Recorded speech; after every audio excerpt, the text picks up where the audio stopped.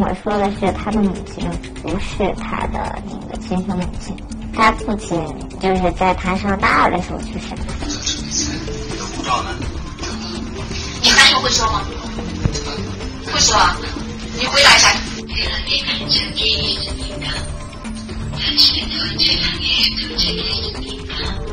是哪？这是你来自哪里？还有呢？这是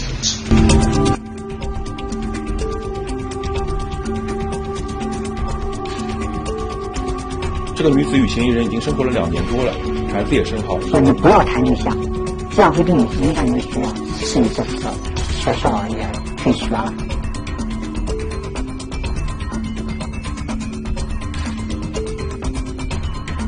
他说我要，因为他将近三千万的房挂牌出售了。他说他那是他父亲的遗产。我还有一个国籍，就是一个国籍。你个护照上的名字？长安。你呢？